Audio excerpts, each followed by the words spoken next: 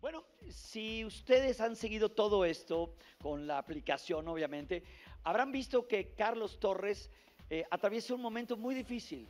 Sus desafortunadas presentaciones, su bajón de ánimo por conflictos amorosos, lo han puesto al límite. Pero esta semana tomó una decisión. A todos nos dejó boquiabiertos. Veamos.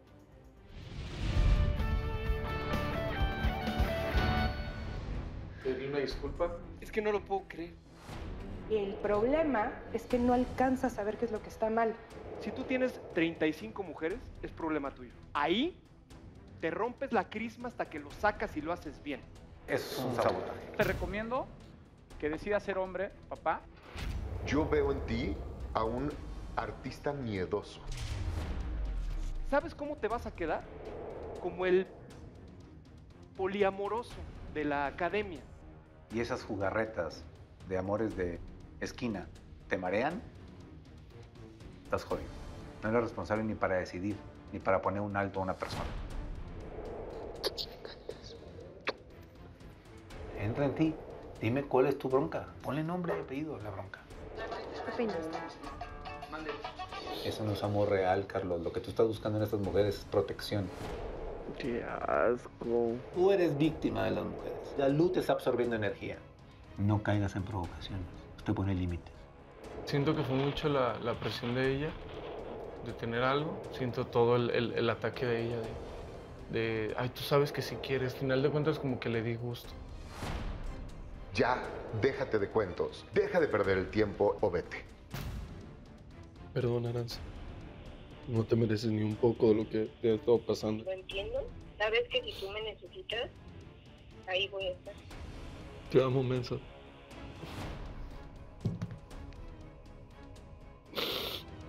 Quiero seguir con Aranza. Espero lo entiendas, Alú. Pero son ellas. Y yo. También. Tienes función el domingo.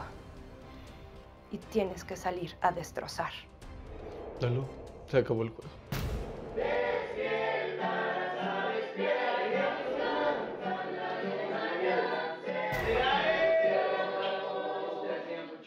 Eres un león. El león gobierna, tú tienes que gobernar absolutamente al escenario. No lo hagas como un niño. Hazlo como un profesional. Estás jugando, ¿va, Carlos? Sabes el momento histórico tuyo y lo que tienes que hacer.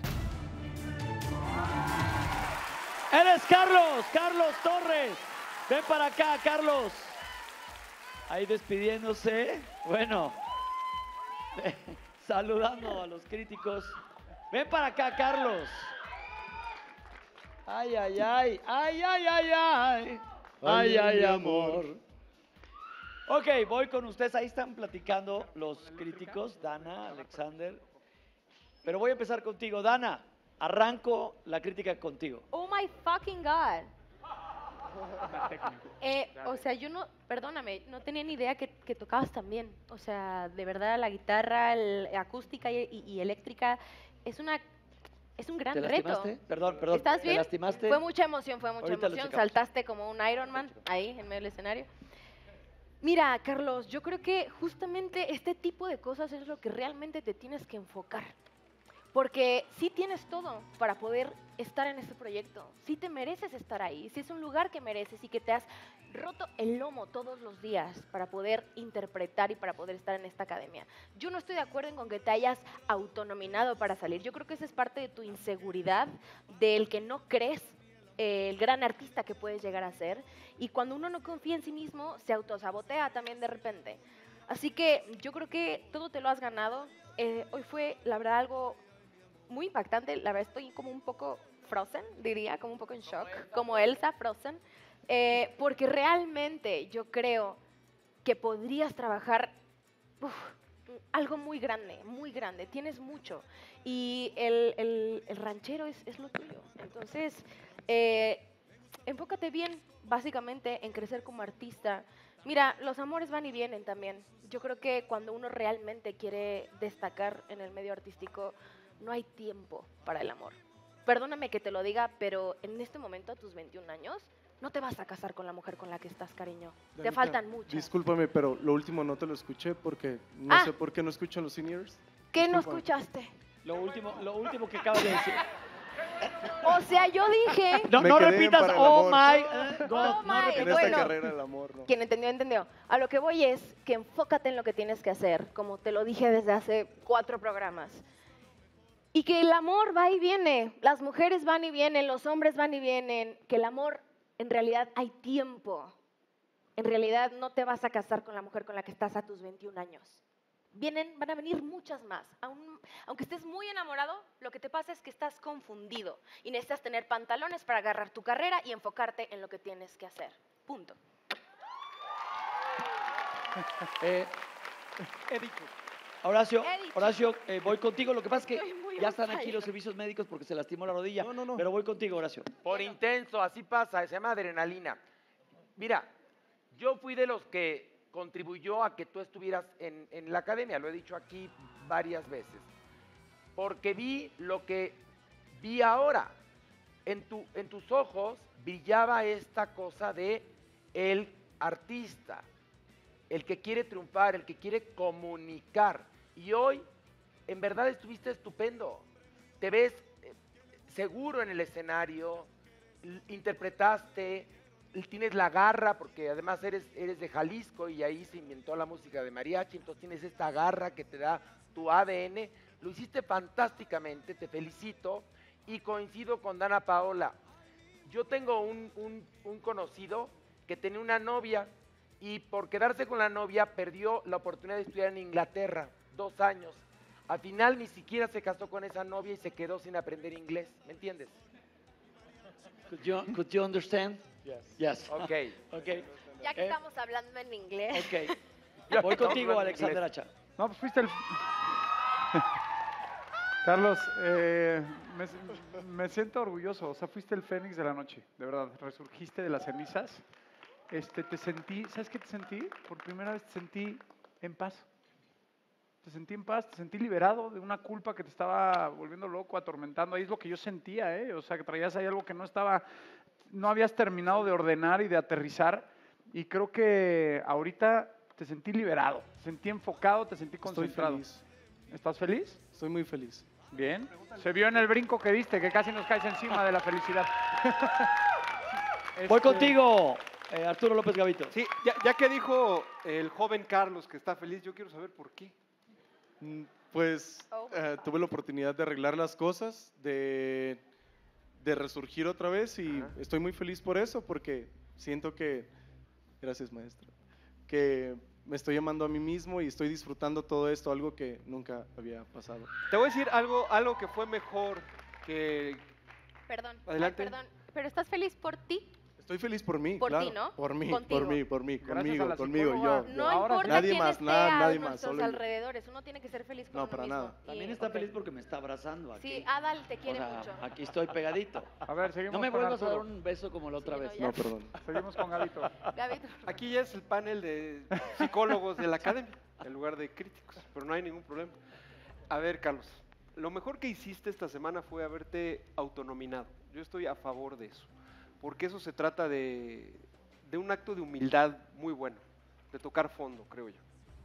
Y después de lo que vimos esta noche, que fue bueno, eh, tienes la oportunidad de ser constante.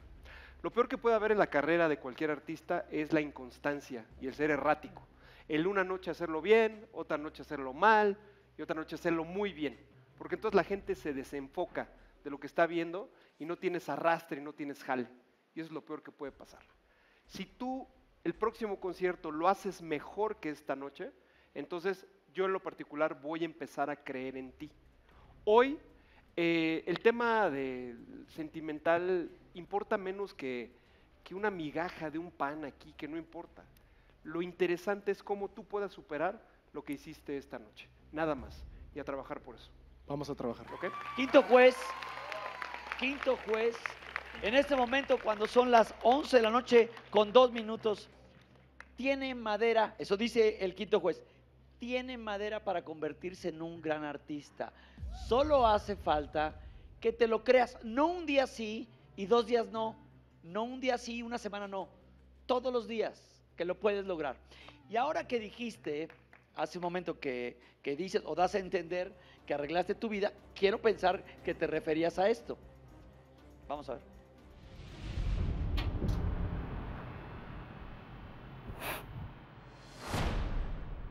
Hola, mi amor. Tranquilo, tranquilo. Estaba confundido, no sabía ni qué quería. Estaba pasando por un proceso en el cual yo no podría ofrecer nada a nadie, porque ni siquiera me amaba a mí mismo. Pues no sé qué es lo que quieres. Necesitas que te dé tu espacio. Te quiero dar lo mejor a ti. Yo sé que esto ha sido muy difícil también para ti. ¿Qué es lo que quieres? ¿Qué somos? No es justo todo lo que yo estoy pasando. Y puedo ser muy fuerte, de verdad puedo. Necesito que me digas. Te quiero a ti. Entonces, ¿qué somos? Somos novios, Aranza. Entonces, necesito que hagan las cosas bien, pero yo ya no quiero nada de juegos. Y yo ya no te voy a volver a perdonar si pasa algo. Porque sé lo que valgo y no me merezco esto. No quiero de verdad que me vuelvas a lastimar, pero quiero que me respetes.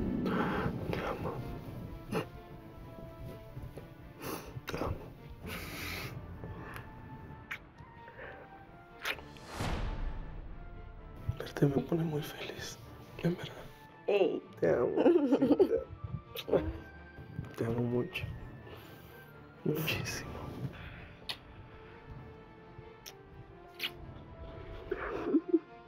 Pórtate bien. No te voy a volver a. Hoy Carlos y yo pudimos reafirmar lo que sentíamos en realidad. Lo único que te quiero pedir a ti, porque ya hablé con él, es que como mujer te respetes y al final pues que respetes nuestra relación. Es lo más sano para todos nosotros. Sé que tienes muchísimo talento y sé que puedes llegar a llegar muy lejos. Te deseo todo el éxito del mundo.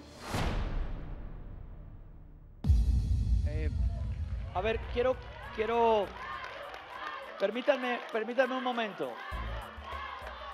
Miren, miren, eh, la posición, silencio, por favor, silencio. La posición de uno aquí es bien difícil porque los estima uno inmediatamente. Aparte son divinas personas, todos. Eh, Dalú, me, cuesta a mí hacerte esa pregunta, pero te la tengo que hacer. Eh, hemos visto que Carlos ha regresado o ha, o ha reafirmado su amor con su novia Aranza. Y ella te ha pedido que respetes esa decisión, que respetes esa relación. ¿Qué tienes que decir al respecto? ¿Qué le responderías a Aranza? Pues, primero que nada, quien tiene, quien tuvo que haber respetado esa relación fue él, no yo. Segundo, yo, para que todo esto que está ocurriendo aquí, este tema fuera, pues, tema de conversación, tuvo que haber dos involucrados. Yo no lo buscaba, los dos nos buscábamos. Y no pasó una vez ni dos veces, Carlos. Entonces, si tu novia me dice que me respete, también ella tiene que darse cuenta que no fue una vez. Fueron más de cinco, más de seis, más de siete. Entonces, yo me respeto, ya lo aprendí, el director habló conmigo, me hizo entender muchas cosas. Me di cuenta de que estábamos llenando un vacío con esto que estamos haciendo aquí. Y, y ya me di cuenta, una vez que aceptas el problema puedes seguir adelante y esto para mí se acabó hace tres días. Carlos, ¿algo que tengas que comentar? No. Yo, permítanme un segundo, chicos, permítanme un segundo. Solamente quiero recordarle a usted en casa que usted y yo, lo más seguro es que no hemos estado en un encierro como ellos. Usted y yo no hemos estado bajo estas circunstancias, porque de esto trata también la academia. Están encerrados y ahí o crecen o se reafirman relaciones personales que uno deja afuera. Así que chicos, eh, yo lo único que les digo es, yo los, los apoyo, creo que tienen todo el apoyo de sus maestros. Enfóquense, enfóquense, por favor, a la academia. Enfóquense en los conciertos. Y Cintia, sé que estás con alguien muy, muy importante para Dalú. Voy contigo. Así es, Adal, estoy con el papá de Dalú, el señor Carlos, señor Carlos Borunda, bienvenido. Y me gustaría, bueno, hemos seguido todo lo que ha pasado esta noche con, con Dalú, por supuesto. Ha sido una semana difícil para ella, lo mismo que esta noche ha sido muy complicada. Seguramente, aunque la veo muy fuerte, tiene el corazón roto después de escuchar y de ver todo lo que ha pasado con Carlos y de que Carlos reafirmó su amor por Aranza. ¿Qué le gustaría decirle a su hija? Estoy sorprendido de la fortaleza que, que demostró para dejarse de una vez por todas de ese, de ese juego que traían ambos. Y te admiro muchísimo, Dalu, y te adoro. ¿Le gustaría comenzar este año? Bueno, creo que un abrazo reconfortaría a Dalú, por supuesto, en este momento está llorando, la estamos viendo aquí en, en la pantalla. ¿Quiere abrazar a su hija en este momento? Claro que sí. Y también quisiera agregar algo más sobre lo del respeto.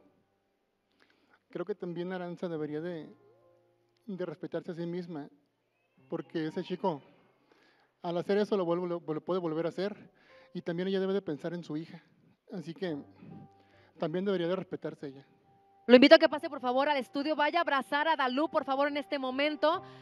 Es momento de muchísima atención, por supuesto. Hemos seguido día a día, domingo a domingo, paso a paso, esta historia, este triángulo amoroso que al parecer se terminó esta noche.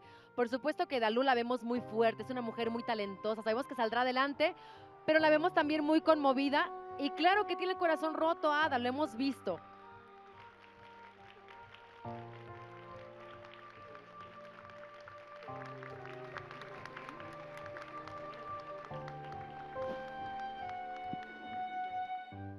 Este es un reencuentro de padre e hija. Y yo creo que todos nosotros necesitamos esos consejos de quienes más nos conocen. Nos conocen en fortalezas, en debilidades. Y bueno, ese abrazo, esas palabras al oído lo dicen todo. Esto le va a ayudar mucho a Dalú. Y el público obviamente también la apoya.